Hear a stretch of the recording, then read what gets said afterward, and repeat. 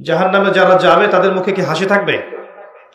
নবী সাল্লাম অনুমতি নিয়ে জাহান নামে উকি দেয়ার পারমিশন আল্লাপাক তাকে দিয়েছিলেন।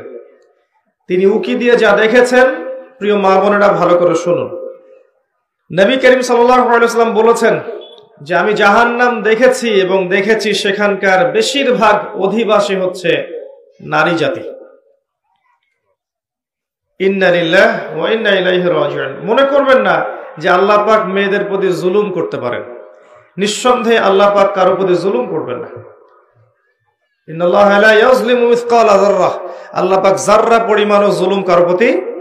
করেন না।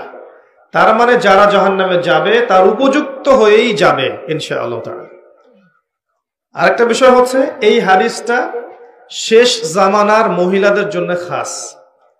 জাহান নামের অধিকাংশ অধিবাসী যে নারী জাতি হবে, এটা অন্য উম্মার নয়, এই উম্মতের, উম্মত মোহাম্মদের। তার মানে আপনাকে বুঝতে হবে, উম্মতে মোহাম্মাদির মেয়েদের সাথে এমন কিছু হবে সমাজে, রাষ্ট্রে, বিশ্বে, যে তারা আর জান্নাতের পথে চলতে পারবে না। তারা জাহান নামের পথে যেতে বাধ্য হবে। এবার চিন্তা করেন, বিগত একশো বছরে এই নারী জাতির সাথে কি হয়েছে আসলে? একশো বছর আগের মহিলাদের দিকে তাকাবেন দেখবেন মাসাল্লাহ পর্দার পূর্ণ তারা পালন করতেন। তারা বিনা প্রয়োজনে বাইরে বের হতেন না। বের হলেও মাহারাম ছাড়া বের হতেন। তারা স্মার্টফোন এত বেশি চালাতেন না। ইউটিউবে সময় দিতেন না। সিরিয়াল দেখতেন না। এত বেশি গিবত করতেন না। এত বেশি তহমত করতেন না। এত বেশি পতিতালয় ছিল না। এত বেহায়াপনা ছিল না। এই নারী পুরুষের পোশাক পরে রাস্তায় হাঁটতো না। আর নারীরা সম অধিকারের নামে সমস্ত জায়গায় পুরুষের পাশে ফ্রি মিক্সিং এ বসে যেত না। একশো বছর আগে এই সংস্কৃতি ছিল না। একশো দুইশো বছর থেকে দেখবেন, নারী পুরুষ আর পুরুষ নারীর কোনো পার্থক্য নাই। মেয়ে ছেলের পোশাক পরছে, ছেলে মেয়ের পোশাক পরছে। মেয়েরা শহরে জিন্সের প্যান্ট আর গেঞ্জি পরে ঘুরছে। পার্লার গুলোতে মেয়েদের দৌরত্ব। দেখবেন রাস্তাঘাটে মেয়ের দৌরত্ব, বাজারে মেয়েদের দৌরত্ব। যেখানে তাকাবেন সেখানে নারী। পর্দার কোনো কলেজ বিশ্ববিদ্যালয় দেখবেন নারী, পুরুষের কোনো পার্থক্য নাই। ফ্রি মিক্সিং ছেলে মেয়ে খোলামেলা মেলামেশা করছে। এবং ব্যাপক জেনা ছড়াচ্ছে। ব্যাপক ধর্ষণ হচ্ছে। সংসার ভেঙে যাচ্ছে। পরকিয়া হচ্ছে। দুনিয়ার সিরিয়াল নিয়ে তারা ব্যস্ত হয়ে আছে।